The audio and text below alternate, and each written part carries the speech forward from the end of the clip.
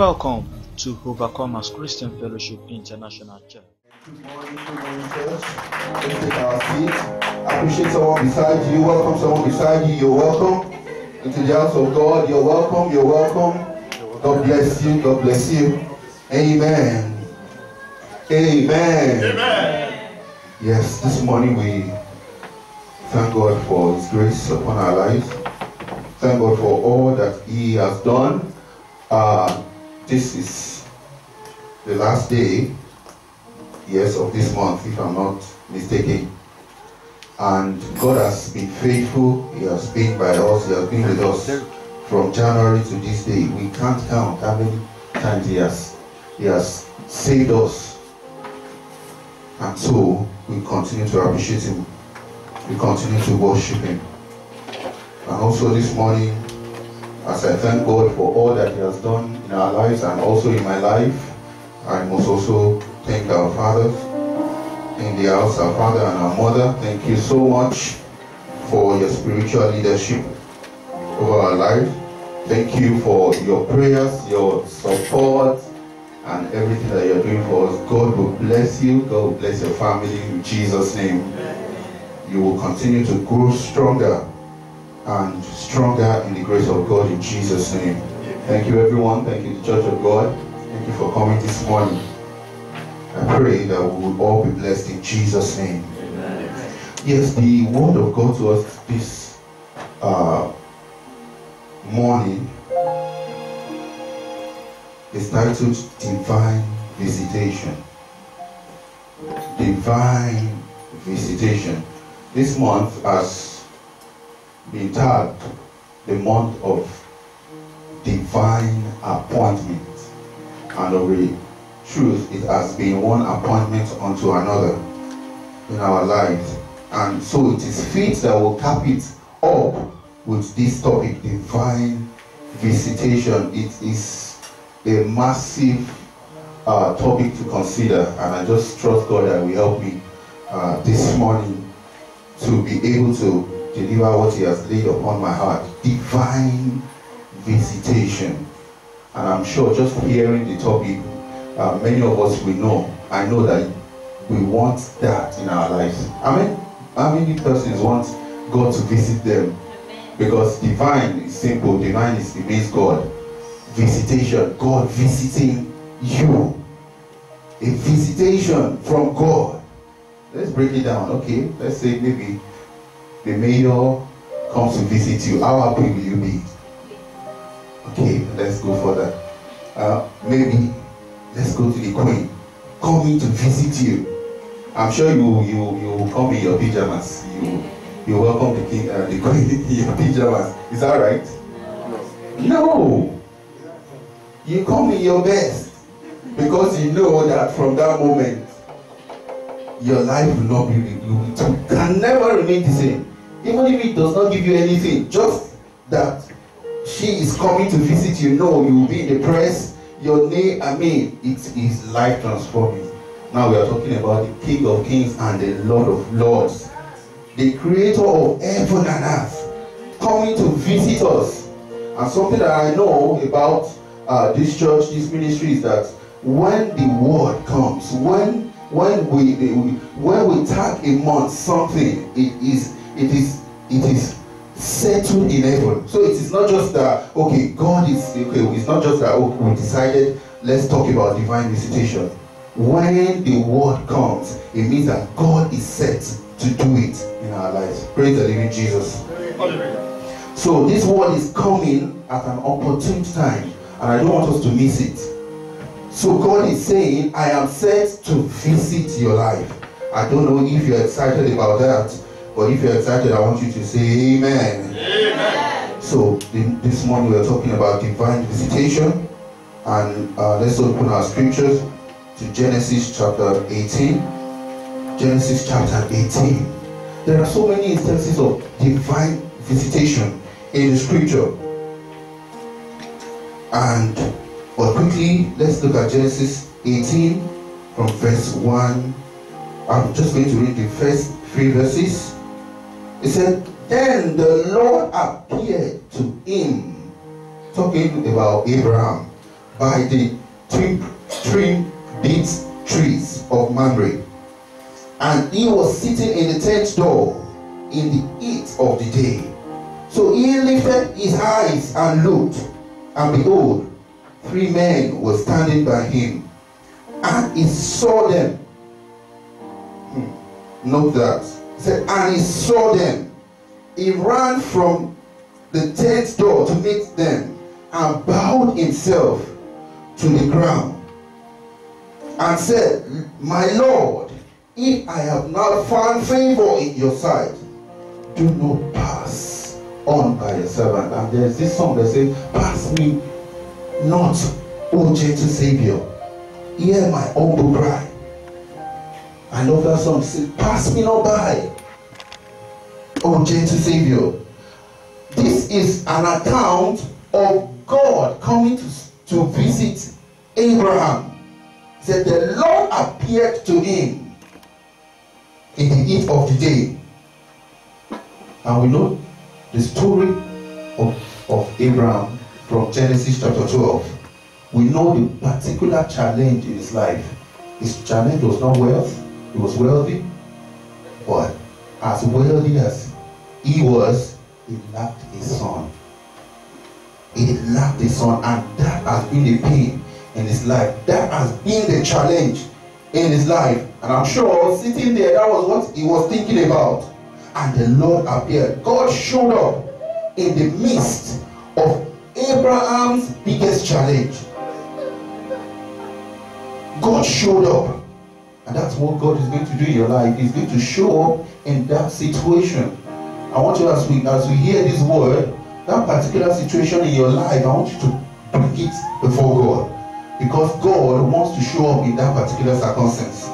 And that will be your portion in Jesus' name. God showed up. God appeared. Many of us will be thinking, God, when will you show up? When will this problem come to an end? And at this instant, God showed up in the life of Abraham. Hallelujah. But that is not where I'm going. That is not the most important thing about divine visitation. Verse 2 and verse 3 are they are more important than verse 1. He said, So he lifted his eyes and looked, and behold, three men. God did not come the way Abraham was expecting. Okay? The scripture said God appeared. Of course, the person writing the scripture knew that it is God. But the scripture said that he appeared as what? As three men. Did he appear as an angel? Did he appear with wings? No, he did not appear in a special way. But what something that confirmed me and something that is very significant, significant is that Abraham was able to recognize that these are not men, but this is God. Hallelujah. And that is where, that is the key. Divine visitation. The problem is not that God has not visited you. The problem is not that God will not visit you today. The problem is that will you recognize when God visits you? Will you know that moment? And that's why when I, I you know I always say in this church, be expectant. There is the moment that God is going to meet your particular need, you may not be expecting. It may be during Bible study. It may be during the praise and worship. Just one instant. Abraham recognized. And in Luke chapter 19, verse 44, Jesus Christ lamented over Jerusalem. He said, Woe unto you, because you do not know the last part, because you did not know the time of what? Hey, this is where the problem is. He said, Woe unto you, you are destroyed. Everything you have built is destroyed. Why? You did not know the time of your visitation. I pray you will not miss your time of visitation in Jesus' name. God will visit you. God is visiting you. But will you recognize the time? So your prayer must be, it's a prayer I always pray. God, I must not miss your visitation. I must not miss when you are speaking. I must not miss When you say I should move, I must not miss it. When you say it is time to leave, I must not miss it. I must leave, I must move. The scripture, Psalm, verse, uh, Psalm 1, he said it will be like a tree planted by the rivers of, of water, which bringeth forth its fruit in what? In due season. When your season come, I pray you will not miss it in Jesus' name. Amen. Abraham was able to recognize in First Chronicles 12 uh, 32, the scripture spoke about the sons of Issachar. He said, These people, they are people that knew the time. They knew what Israel must do at the time. There are people who are sensitive. This is about being sensitive to the Spirit of God. You have to be sensitive. God is going to move. A lot of times you say, God visit me. He has visited you, but you did not know. Hallelujah. And I pray this morning that God will open our eyes to see, to know the time of our visitation in Jesus' name. Amen. Abraham's response to the divine visitation to produce his miracle. Do you know that those men could have come? Those three men could have come and gone like that. And he would not know. He would have, they would have just gone. In fact, he out he might have not just invited them, but he knew, he recognized. He said, No, this one must come. They must come in. So when he recognized them, they came in and in verse 11, okay, in verse 9, he said, Then they said to him, Where is Sarah, your wife? That was what they, they did not say anything to him. They asked, they did everything, and after he, he had, when they saw that he has responded rightly, they said, Where is Sarah? They knew that was where his problem is. There's another person quickly in scripture that identified the presence of God. That blind man who told Christ, he said, well, the scripture said, when he heard that Jesus Christ was going about, Jesus Christ was around, he said, Son of David, have mercy on me. And they said, the, the scripture said, I think it's in Luke 9, they said, keep quiet, keep quiet. It is not you that Jesus wants to hear. He said, no, I will shout because this is my time of divine visitation. Say to someone, it is my time for divine visitation. So you have to grab that moment. You have to grab it and tell God, today is my day. And I don't know that. I want that to be your prayer today, this morning. That as this message is going, Lord, it is my time. And that will be your portion in Jesus' name. Amen. Hallelujah. Just early this month, we were praying here, and God gave me a word. And that is what I'm going to minister to us this morning. He said that we should ask Him to send His word. We were praying here on Tuesday, I think 28th of, of May. He said, Pray that I send my word when that prayer dropped in my mind, I was like, send your word. I didn't understand it. But I started praying and God started opening my eyes to the meaning. When God said, I want to send my word. And so that's why this morning it's going to be divine visitation by the word of God. There's this song that said, You are the Lord that he left me. I want us to sing that song. You are the Lord, my healer. He sent his word.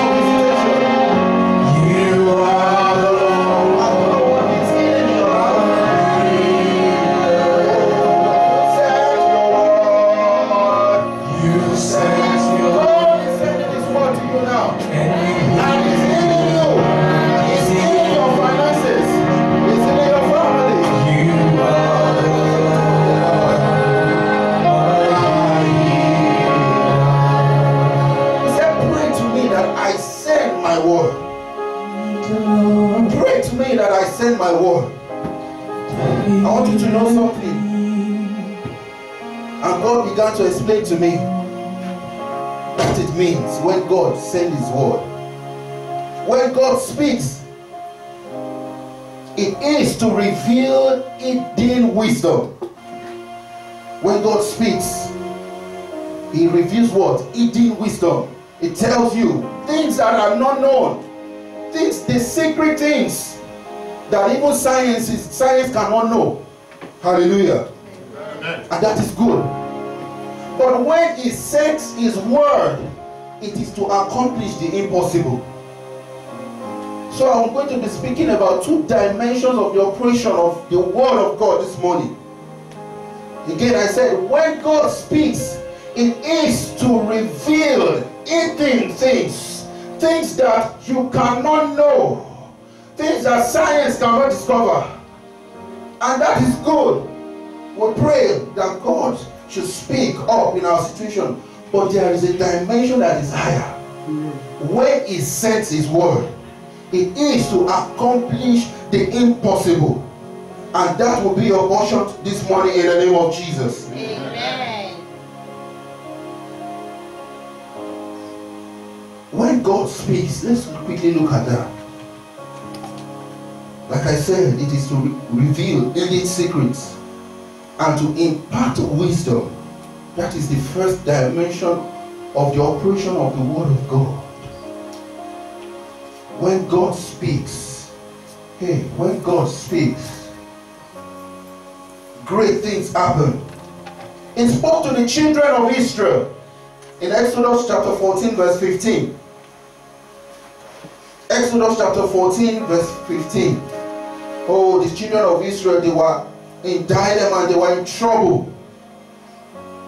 The Red Sea was in front of them, and the army, the best army in at, at, at that time in the world, was behind them. And this was not even just that Pharaoh was there with them, he was in front.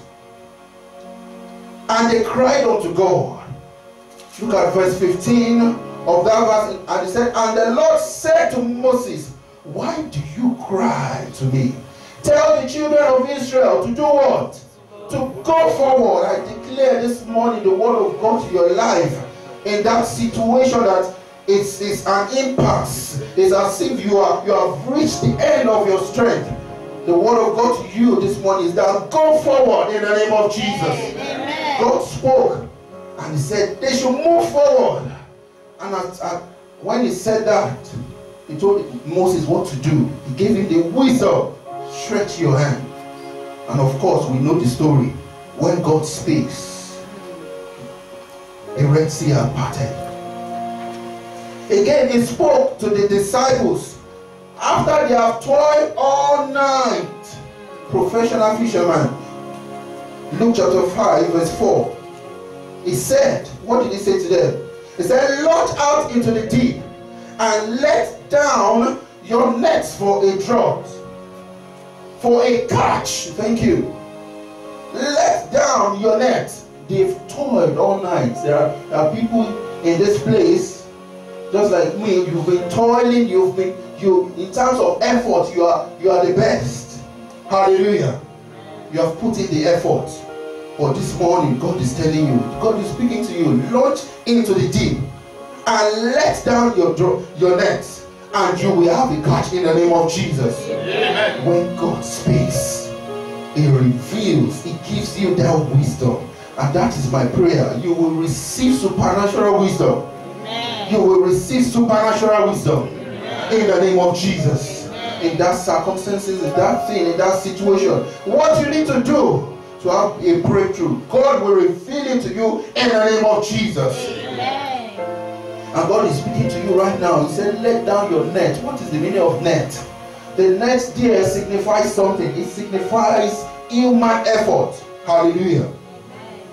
The net there signifies what? Human effort. He was telling Peter and all the professionals, said, let down, let down. I know you've you've you've you've tried.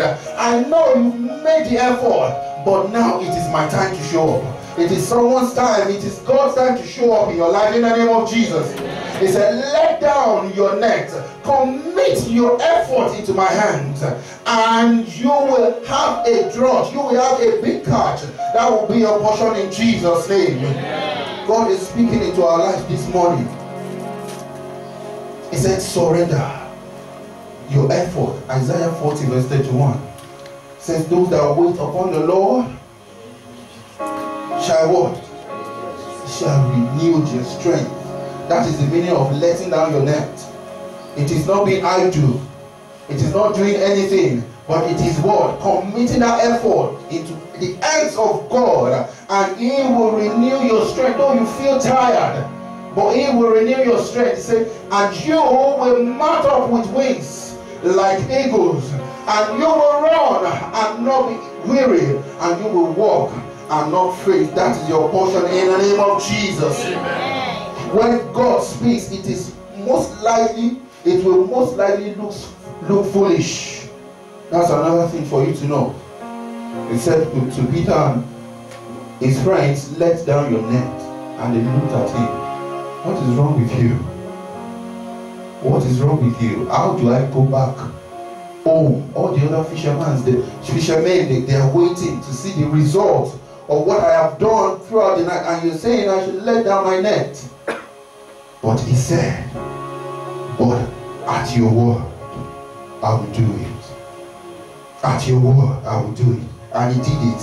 And this month, this second half of this year, as you obey the word of God, great things will happen in your life in the name of Jesus. Number two, when God instructs, when God speaks, He instructs and He guides. He tells you things to do. He corrects you. He rebukes you. Just like He got, He, he, he spoke to Joseph in Matthew 2 13. Not to go a certain way, to ta- carry the child and to live. And by that, he was saved. That is the first dimension of the operation of the Word of God. When God speaks, like I said, He reveals in hidden wisdom. He imparts wisdom. That will be our portion. I'm praying for you this month. You we need wisdom. I was talking to a brother about wisdom. The scripture says the principal thing. And the funny thing is that we, we, we don't spend enough time asking for wisdom. And the scripture says it is the principal thing. Hallelujah. Amen. So if the scripture says it's the principal thing, what, what does that mean? It should be the bulk of your prayer. Solomon was given a blank check. Ask me anything. And even God said it afterward that though you could have asked for the life of your enemies, but because you are wise enough to ask me for wisdom, I will bless you with everything. If you don't take anything as you're going today, let wisdom. Every morning ask for God's wisdom before you go out. Even if you forget to ask for the life of your enemy, because I know we love to do that a lot. Hallelujah. I know we like to do that. But ask for wisdom first. And that will be your portion in Jesus' name. Amen. Numerous scriptures show us how powerful it is when God speaks up in the life and situation of people. But there is a dimension of grace that is more powerful and more glorious than when God speaks, and that is when He sends His word. When God sends His word. I mean me to say that the greatest intervention of God in human affairs or human affairs comes when it decides to send his word. The greatest intervention of God comes when it decides. It doesn't do it often, but when it does it. That was what happened in Genesis 18. God has been speaking, but God came. He sent his word. And I'm going to I'm, I'm going to be explaining that to us. Now, when I said it is the greatest intervention of God in human affairs, you may be asking me, how, how do you know? Now, listen to this. It is possible to disobey instructions from God. God can speak and tell you, do this, and you will disobey. You will not do it. You may miss it. You may not actually be listening. And that will result in failure. Also, the devil, if God sent angels, of course, we know what happened to Daniel. What happened? God had released his blessing. How many days? I think 21 days. But in the angel said, and devil withstood me. So devil can withstand angels. So you can miss the instruction of God. You can miss it when God speaks. And even if God sends angels, the devil can also resist them. But there is something that God, the devil cannot resist. That is when God sends his word. That cannot fail. That cannot be stopped. And that is why we have sang that song that God should send his word unto us. There are so many, there are numerous scriptures in the, in, in, in, the Bible that talks about God sending his word unto us. Quickly, let's look at the life of Samuel. First Samuel 3, verse 1. Everything that I'm saying this morning is so that I'm trying to change the kind of prayers that you pray. I'm trying to open your eyes so that you can begin to enjoy the divine visitation of God from this moment. Hallelujah. Are we still together? Praise the living Jesus. Look at the person beside you. Are you sleeping? Tell the person, are you sleeping? Amen. If you are sleeping, praise, praise the Lord. Amen. If you are sleeping, shout hallelujah. Hallelujah. So what of you are sleeping? Amen. Don't sleep at your time of visitation. First Samuel 3 verse 1. I want us to understand the meaning of the word. The word. First Samuel 3 verse 1.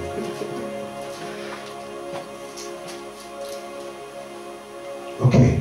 The scripture, the scripture said, Then the boy Samuel ministered to the Lord before Eli. And the word of the Lord was rare in those days. There was no widespread revelation. Jump to verse 7. It said, Now Samuel did not yet know the Lord. This is what this was after God came. He was calling Samuel. And he kept running to Eli. Master, what? Here I am. Here am I. And the master said, I did not call you. Verse 7, he now said, Now Samuel did not yet know the Lord. No, nor, nor was the word of the Lord yet what? Yet was nor was the word of God yet to be revealed to him. He did not know what the word was. Verse 20. Let's go to verse 20. Okay, let's start from verse 19. He said, So now, so Samuel grew, and the Lord was with him, and let none of his word to fall to the ground. And all Israel from Dan to Bathsheba knew that Samuel had been established as the prophet of the Lord. Then the Lord appeared again in Shiloh. For the Lord revealed himself to Samuel in Shiloh. Let's read together. By The word of the Lord.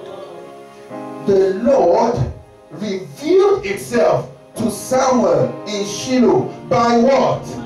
By the word of the Lord. So, what is the difference, you will ask, between the Lord and the word of God? Because he has separated it there. He said, God revealed himself to him by something, by the word of the Lord. That was the first place where the concept of the word of God, God really, the scriptures sh- shine light into what the word, the entity, the personality of the word of God. Hallelujah. Psalm 107, verse 11. Taking us somewhere. Psalm 107, verse 11. Verse 20. Let's read verse 20. Okay, sorry, let's read that verse 11. It's also read man. Because they rebelled against the words of God and despised, despised the counsel of the Most High. Verse 20, he said, And he sent his word and he healed them and delivered them from their destruction. God is sending His word to deliver you from destruction this morning in the name of Jesus. Now we see the word of God as an entity, as a personality in this place. Now let me make it clearer. Let's open our scriptures to John chapter 1, verse 1. This is this is my favorite, of course, it's in my name. So of course, it has to be my favorite scripture. John chapter 1, verse 1 to 5. It said, In the beginning was the Word, and the Word was with God, and the Word was God. Verse 2, he said, He was with God in the beginning. Verse 3. He said, All things were made by him, and without him was nothing made that was made. Verse 4. In him is life, and the life was the light of men. Verse 5 said, And the light shines in darkness. Notice that preposition. He said, The light shines where? In darkness, and the darkness cannot comprehend it. Yes. This scripture wanted us to understand something about the word. And he was bringing the word. He wanted us to get something. But most times we have not gotten that revelation. He said the word was with God. When? When? In the beginning. The word is used capital. Capital W. The word was with God in the beginning, by it, everything was created. Without it, nothing was created. Verse 14. Let's read verse 14 together. Verse 14 is, is very interesting. It said, And the word became and the word became letters. No. And the word became sounds. No. It became flesh. And what is the name of that flesh? What is the name of that flesh? Jesus Christ. And dwelt among us, and we beheld his glory. The glory as of the only begotten of the Father, full of grace. But remember, he said that word has been from the beginning. A lot of times, most of us we thought that the revelation or the coming of Christ for the first time on earth was in Genesis. I mean, was in Matthew chapter one. Was a no. Jesus Christ has been from everlasting. It was right there in Genesis chapter 1. Let's open our scripture. Genesis chapter 1. We will say, when did Jesus Christ appear? When was it? When was he with God? It was not mentioned in Genesis chapter 1. I didn't see him there. No, you have not seen him, but he. Hallelujah. He said, In the beginning, God created the heavens and the earth. I've preached on this before. Between chapter 1 and chapter, I mean, verse 1 and verse 2, there were there are thousands of years. So the fact that they wrote it together is it does not mean that it was immediately. When God created the earth, it was perfect. It was good. Everything was was very was, okay. And that was before the fall of lucifer. But in verse 2 lucifer the devil was already falling. And he had come to destroy. You know the ministry of the devil? He has come to kill to to uh, to, to steal to kill and to destroy. And he had manifested his ministry on earth. The bible says in verse 2 the earth was without form and void and darkness was over the face of the deep and that looks so much like the life some someone's life. The situation in certain in some people's lives today. It looks you i mean you don't even understand what is happening. Everything looks without form. Everything looks empty. And darkness was over the face that this darkness had dominion. Darkness was reigning And verse 3, look at what God did. He said, Then God said,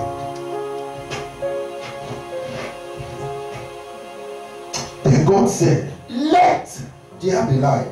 And there was light. Verse 3. And God did what? Said. And God what? Said. And that is where the word. You didn't see it before. That's where the word in. Jesus Christ, the Son of God. The word is not letters combined into meaningful sound. It is a person. And that person is Jesus, the Son of the living God. In the New Testament, the Son of God, who is the second personality in the Trinity, was named Jesus. And after his death, after his death, he obtained the name Christ. Because many of us we used to think that Christ is the son of Jesus. Hallelujah. Jesus Christ. No, Christ is not his son, his son. He obtained the name after his death. And that's why the scripture says that he has been given a name. That is what? Above all name. What is that name? That name is not Jesus. It is Christ. Christus, the Messiah. But the Son of God did not come into existence in the New Testament. In the Old Testament, the Son of God was revealed as the Word, sent by God.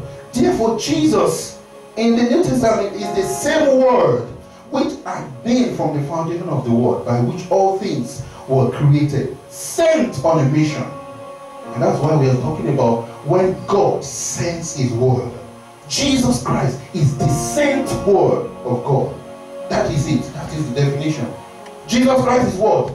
The sent Word of God. It doesn't come. Even when Jesus came in the New Testament, He was sent to fulfill a particular thing. Just as when God said, God said, Let there be. And at that moment, He sent Jesus to go and what? Remove and restore and destroy the work of the enemy. John chapter 10, verse 10. John chapter 10, verse 10 said, I have come. John chapter 10, verse 10. What does he say? The thief does not come but to except to steal, to kill, and destroy. Now, this is the mission of Jesus. He said, I have come that they may have life and have it abundantly. And that has been his mission from the beginning, from Genesis chapter 1, verse 1 to from, from there onward. Now let's look at the work. I've established that the word that we're talking here, when God sends his word, that word is no less a personality than Jesus Christ himself. And that is why I said it is the greatest intervention when God sent his son. Everything else has failed. In your life, everything else has failed. Your effort has failed. Your wisdom has failed. Your uncles, everything has failed. But this morning, God is going to send his word. Who is Jesus Christ into your life in the name of Jesus? Quickly, let's look at three operations of when of the word of God. When God sends his word. Since we have established in verse 3 that when God said, when God said, he sent his word, which was Jesus Christ. Let's look at what the word did. From Genesis verse 1, verse 3, he said, Let there be light. And of course, immediately there was light. And I've explained to us once before, let me remind us. Let there be light. Let there be light. Let there be light. Can someone say, Let there be light? Declare, let there be light. In my situation, let there be light. In that situation, you know it. Can you just say, Let there be light? In the name of Jesus. That is God's way. When there was challenge, when there was a trouble, he did not mourn, he did not do anything. He said, Let there be light. So when you're confronting situations, the first thing for you to say is, God, let there be light. Hallelujah. And there was light. It brings, when the word comes, number one, it brings light in darkness. It brings light in darkness. Darkness is always there. If we switch off these lights, cover everything, you know that darkness is here. But when there is light, he said that, and the light shines, and the darkness cannot comprehend it, cannot overcome it. That is why we must be continuously connected to God. so that that light continues to shine in your life. Now, the light here, let me explain what God was saying here. The light here signifies the creative power. Note it. It signifies the creative power of God that makes or causes things to be. A. It's the it signifies what? The creative power of God that makes or causes something to be. Hallelujah. Amen. In other words, light here does not signify the sun or the moon or brightness. Because a lot of times when we read that verse, we always think that, oh, when God said light and then light came and everything was visible. No, that place was not talking about the sun and the moon. It was the later in verse 14 that He created the sun and the moon. So if that place was not talking about the sun and the moon, it's not talking about this light that we see. That place is talking about the creative power of God. The creative power of God, we can liken it to electricity. This is not electricity. This thing that you're seeing is not electricity. Electricity itself is inside the wire. You can go and touch it, then you know that it's there. Amen. No, don't say don't say reverence when you should go and touch. No. Hallelujah Amen. this this light that God said here, it's not visible. It is the creative power of God that makes things to be. You need that power, and the the, the, the, typology of that light in the New Testament is what? Can someone guess it? The typology of this light that in the New Testament is what? Jesus. The Holy Spirit. Hallelujah. The Holy Spirit. It is the Holy Spirit. Hallelujah. He told the disciples, Acts chapter 1, verse 8. What did he say? He said, And you will receive power. Another word for power is you know electricity. You will receive enabling power. This the, the electricity can be uh, can be here and you will not notice it. But when you connect it to a bulb, you will see it come out. That is the first thing that you need. And that is the first thing that God is releasing into your life today. The power of the Holy Spirit. I pray that you will witness that power in the name of Jesus. It is, he is, let me not use it. It's, it's, it's an error to use it. He is the creative power of God. Without the Holy Spirit, you cannot do anything. You cannot enjoy the visitation of God, the Holy Spirit. And He is the one that will bring that light and make you. He said, and you will receive power. Power to, to make wealth. Power to overcome sicknesses. Power to be the best. Power to dominate. Hallelujah. Amen. That will be our portion in the name of Jesus. Amen. So when God said, Let there be light, He established His creative power. He established the creation process. I don't have an, a problem with, with evolution, the theory of evolution. I don't really have a problem with it. I only have a problem with the starting point. How can you say that, that everything that we see today began with a big bang? The big bang is what we are seeing in verse 3. God spoke and things began to happen. But science cannot understand it. It is too high for them to understand. God set in motion the process of creation when He said, Let there be light. This creative power or creation power of God is what makes everything to be. So when the word of God comes, it brings that into your life. Now let me say this: when God sends His word into your life, His presence comes into your life for the work of creation. For the work of creation. The, the work of creation is about to begin in your life this season in the name of Jesus. Amen. Number two, when God sends His word or His word, He restores order in chaos. When God says His word, He restores order in chaos. From verse 4 to verse 10 in the story of creation, it was God. God did not create anything new. Have you noticed?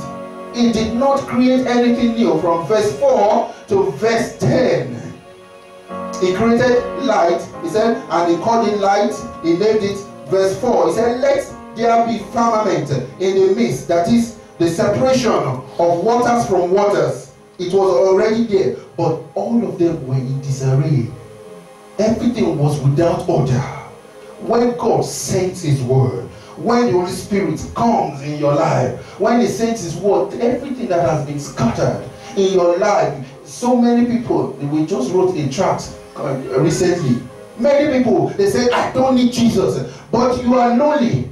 You said you don't need Jesus, you are confused. You don't need, you said, I don't need Jesus. Yet you don't know what tomorrow holds for you. You don't know Jesus. You said, I don't need Jesus. And you are disillusioned. And you're suffering from depression. And you are still saying, I don't need Jesus. And you are being given antidepressants. What, what does it do? It, it alters your, hormone- your, your, your hormones. That's what it does. And the kid said, I don't need Jesus. That is what you need. The word of God. When he comes, he brings order. And I pray for us this morning. Everything that looks disorderly, everything that has gone, you know, your marital life, you don't even understand where it is. You don't understand. I mean, everybody is getting married. You, everybody is getting their job. Everybody is having kids, but things are not just working. It is not as if you do it. You have it in you, but everything is out of place. I'll declare this morning, as you hear this word, order is restored in your life in the name of Jesus. When God speaks, you know, Psalm 11, God is addressing something this morning. That's his foundation. He told me particularly the foundation, our foundation. Psalm 11, verse 3. Is he said something very, it, was it's a rhetoric question and he didn't give an answer. He said, If the foundations are destroyed, what can the righteous do? Nothing. You cannot do anything but to pray. Why? Because you can't go back to your foundation. You cannot do anything about your foundation. You don't know what has gone wrong when you were born, there are some congenital diseases that you cannot do anything about. It has been, it's from right from the womb. There are things that have gone wrong. There are places that your parents put you through that you cannot change. If the foundation is destroyed, you cannot do anything, but God can do something about it. Hallelujah. And that is why you need God to send His word. Because the word of God is past, present, and future. He is able to come back into your path and to correct that foundation and restore order. That is what the word of God does. And that will be your portion this morning in the name of Jesus. Everything that is wrong in your foundation that is bringing manifestation, that's the pro- that's, the, that's what happens. When things go wrong, they don't necessarily manifest that point. It may be five years, it may be ten years after, then they start showing up. They start showing up. There are, there are defects even in your genes, in your DNA right now. There are some that they have not even manifested. It may be when you're 40, 45 that that expression is going to come out. And that is why you need the word of God that sets things in order. And that will be our portion in the name of Jesus.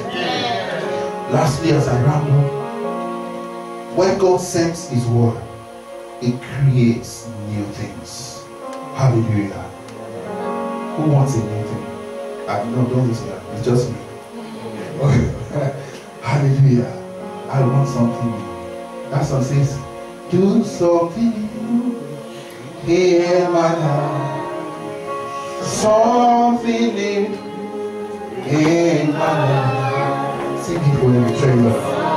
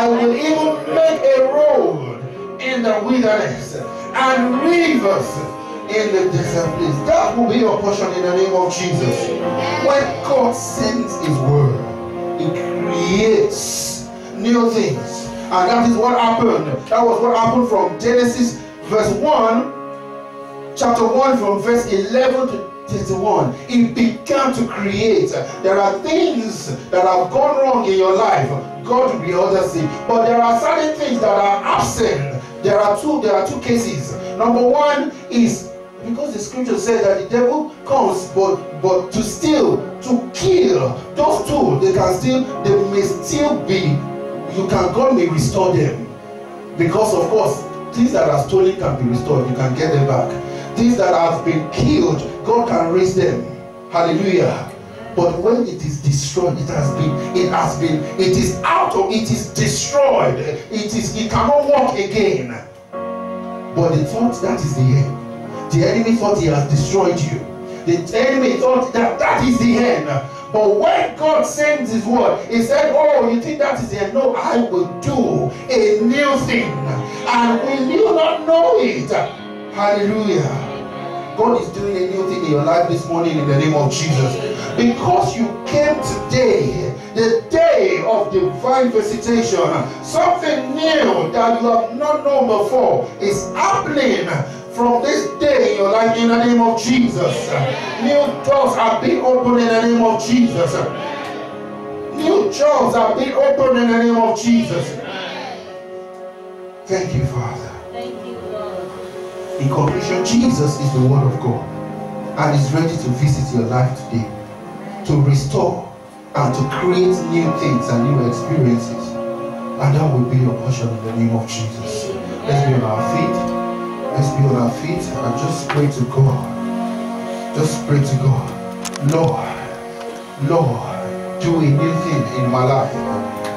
Now, I want you to say, now, God. I, you know, it, it is not every time that you have the opportunity to say, to tell God that I do it now. But by the grace and the anointing in this house this morning, you are permitted to tell God now do this new thing.